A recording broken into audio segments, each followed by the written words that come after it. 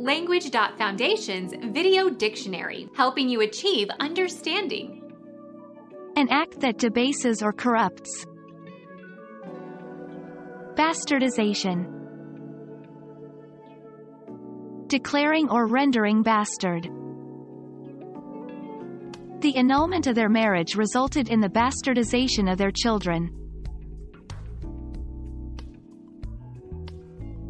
Become our student and get access to effective and free educational materials.